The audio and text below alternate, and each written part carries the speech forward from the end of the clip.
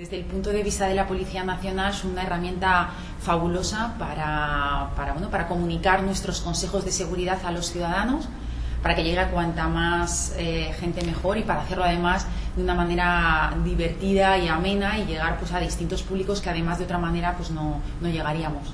Nuestras cuentas, sobre todo Twitter y Facebook, son bidireccionales, es decir, nosotros lanzamos mensajes a nuestros seguidores, pero ellos también contactan con nosotros a través de mensajes directos en, Twitter y de chats privados en Facebook. De esta forma eh, pueden hablar con su policía. Hay muchísimas operaciones policiales eh, de prácticamente todo tipo que se han iniciado o se han resuelto gracias a la colaboración ciudadana todavía eh, algunas, eh, mi generación ¿no? y generaciones eh, anteriores, pues no, no, estamos tan familiarizados con las redes sociales como lo están ahora nuestros jóvenes. Entonces es importante que los padres conozcan bien en qué redes sociales están sus hijos y que, a qué tipo de contenidos tienen acceso.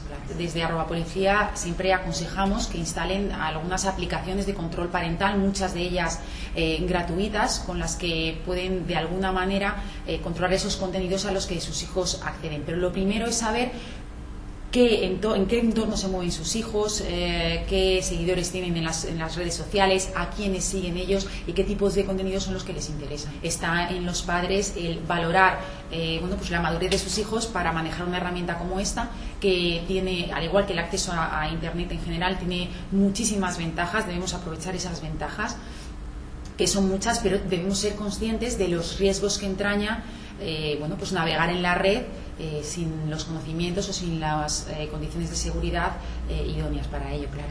Desde arroba policía siempre aconsejamos que cuando llega un mensaje a nuestros dispositivos y no estamos seguros de su veracidad, bien porque desconocemos al remitente real, porque nos ha llegado a través de una cadena, o bien porque procede de una fuente que no es oficial, si nos genera algún tipo de duda, no debemos reenviarlo. Debemos confiar tan solo en estas ocasiones en mensajes que provengan de fuentes oficiales los bulos, en general, tratan de llamar nuestra atención, muchas veces recurriendo a mensajes que, que tocan nuestra parte emocional o que de alguna manera pueden alarmar.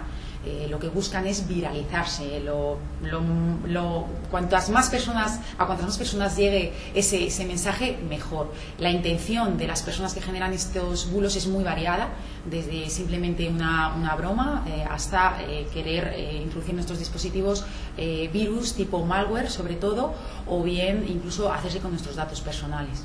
Ante la duda, siempre nos lo pueden enviar a nosotros, eh, no solamente eh, a, través de estos mensajes directos de los que hablaba de las redes sociales, sino también a través de la página web de, eh, www.policia.es barra colabora.